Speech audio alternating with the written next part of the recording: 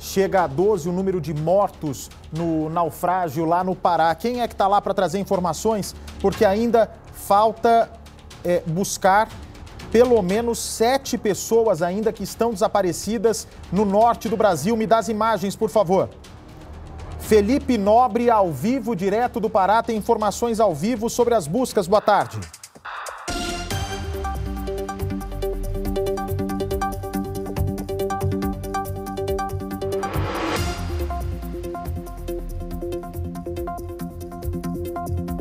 Olá, Bate, boa tarde para você e a todos. É a informação de agora, notícia de momento. Há cerca de 10 minutos, cinco corpos foram achados próximos ao local do naufrágio, ou seja, chega a 18 o número de mortos em decorrência dessa tragédia. Estamos em frente a essa escola que serve como uma base de apoio aos familiares das vítimas. Estamos na ilha de Cotijuba, que fica a cerca de uma hora de Belém de barco. É um local até certo ponto de difícil acesso, no entanto, Muitos familiares vieram até essa rua onde nós estamos. Chegamos por aqui por volta de três da tarde e o cenário encontrado foi desolador moradores lamentando muito tudo o que aconteceu, vários deles auxiliando no socorro aos passageiros dessa embarcação, Dona Lourdes 2, que teria saído nas primeiras horas de ontem do município de Cachoeira do Arari, no arquipélago do Marajó. Essa embarcação clandestina. O destino dessa lancha